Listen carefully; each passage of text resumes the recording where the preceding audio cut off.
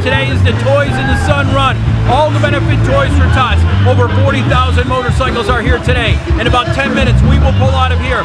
Mardi Gras Casino in Hallandale, and we will be headed up to Markham Park and Sunrise for an entire day of festivities, live music, free food, and of course, good times. All we're waiting on is YOU, and it's all brought to you by your friends at iHeartMedia. And of course, that is the home of Big 1059 in the Paul and Young Show.